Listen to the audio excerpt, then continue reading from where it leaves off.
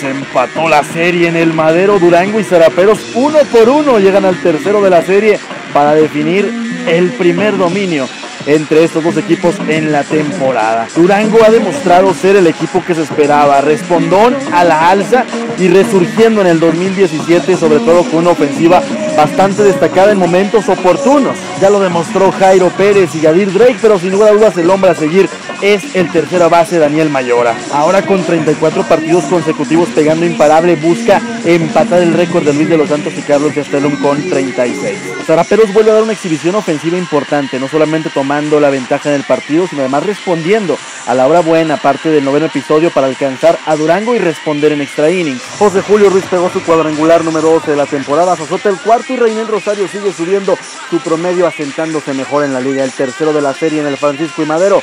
Este jueves, 7.30, pinta tu pasión.